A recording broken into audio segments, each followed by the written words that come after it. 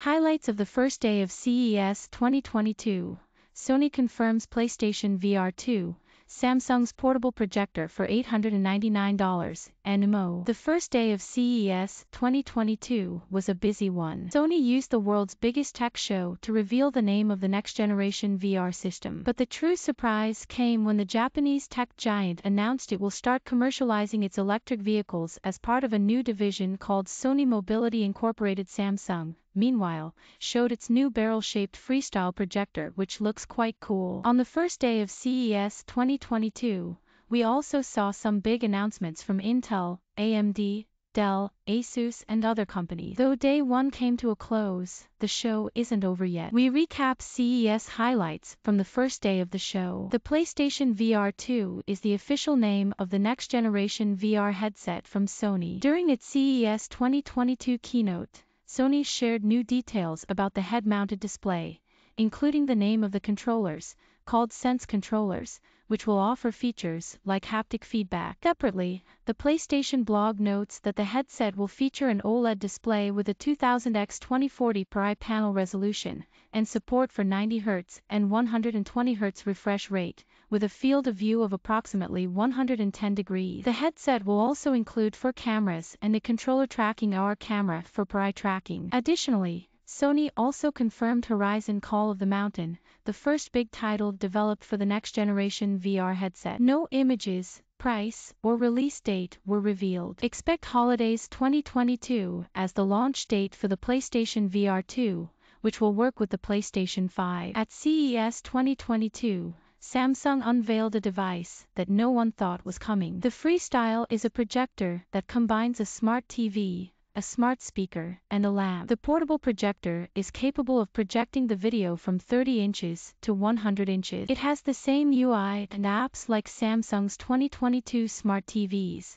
making it closer to a smart TV. Perhaps what makes the Freestyle different from other portable projectors is its design. The device can be angled to use in any direction and transform any free wall into a screen. The projector comes with a remote, Plus, it can also be controlled using a voice command. The projector can be powered via USB-C from a wall plug or external battery pack. Later this year, Samsung plans to sell an optional light bulb socket adapter, transforming the projector into a mood light of sorts. The $899 projector will be available to pre-order in the US this week. The XPS 13, one of the highly rated ultra-portable laptops on the market, is getting a new member. At CES 2022, Dell debuted what it is calling the XPS 13 Plus, a futuristic notebook with an all-new design and power. From the outside, the XPS 13 Plus looks just like the XPS 13. Open it up, however, and you will spot the difference immediately. The top row of function and media keys has been replaced by a line of white LED backlit touch button. The keyboard, too, has been redesigned. It's now edge-to-edge -edge on the notebook. The touchpad, meanwhile, isn't there. Yes, the physical pad has been replaced with an unmarked glass pad with haptic feedback. Unfortunately,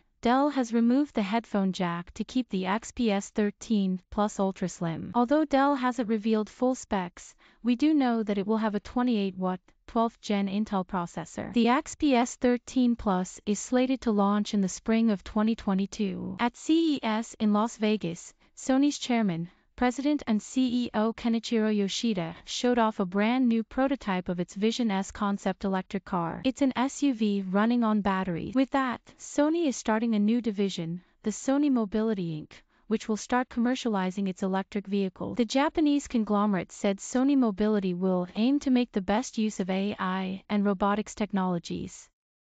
The new prototype SUV joins the Vision S02, an electric concept car that was unveiled last year. The EV will be 5G enabled, have a 3D sound system and will let passengers play video games through a digital video service. It's not clear if the vehicles will be mass-produced, but Sony has been exploring a commercial launch of Sony's EV. Apple, too, reportedly wants to get into the electric vehicle market as soon as 2024. Introducing the world's fastest mobile processor, 12th Gen Intel Core family featuring our performance hybrid architecture, up to 40% faster than the previous generation. Dashing away hashtag altogether wonderful hashtag CES 2022 https colon slash slash t.co slash 9 uni pic.twitter.com slash vh96osh3cw. Intel at hashtag CES 2022 January 4, 2022. https colon slash slash platform.twitter.com slash widgets.js. Both Intel and AMD use CES 2022 to announce new processors. Intel's 12th generation mobile processors are faster and more powerful. These new CPUs will have the same big dot little design methodology as the desktop versions of 12th generation processors. There are three main variants in the family including the enthusiast grade H series processors,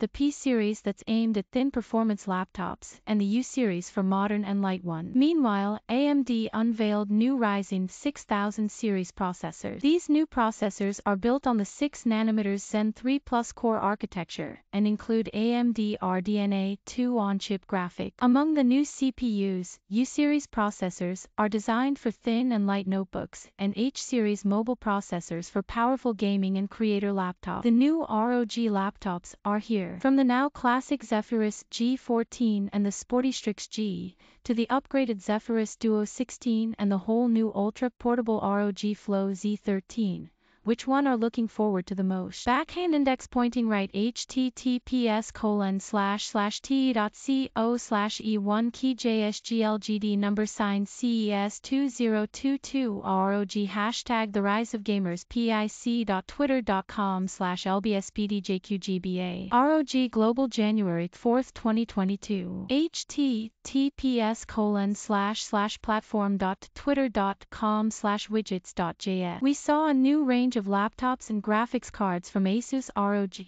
Dell's Alienware, and Nvidia at CES 2022. Out of many new laptops that Asus announced at CES, the Flow Z13 stood out the most. It's essentially a gaming tablet that crams a powerful CPU and discrete GPU into a 13-inch design. And yes, it also works with ASUS eGPU dock. Alienware also announced a new range of gaming laptops and accessories at CES 2022, including the world's first QD-OLED gaming monitor. Nvidia also made a big splash at CES by announcing new graphics cards targeting mobile and desktop gamers.